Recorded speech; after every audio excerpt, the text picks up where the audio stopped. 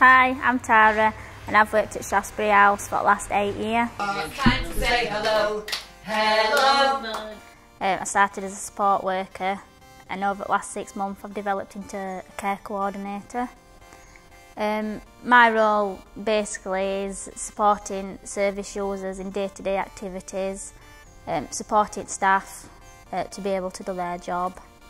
When I come in in the morning, um, I'll check diary and see what's planned for the day. I enjoy working here because it's fun. Um, you're helping people live a normal life. There's different challenges every day that you've got to face and it's really good and rewarding. Hi, I'm Abby. I've been at Shaftsbury House now for three months and I'm a care support worker. My job means I help residents lead as much of an independent life as possible. Hi, my name's Leah Clark and I'm a support worker at Shaftsbury House. My job involves supporting vulnerable people with learning disabilities to live a normal life as possible. Shaftsbury House is a home for learning disabilities.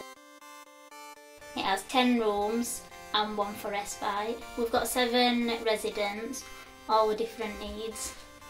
And we've got a team of about 22. We try and make it as person-centred as possible, as only as possible for residents. Uh, the staff and the residents are like one big family and that's why I love working here at Shaftsbury House. I love my job at Shaftsbury. We're quite a close team. We all work together and we have a lot of fun.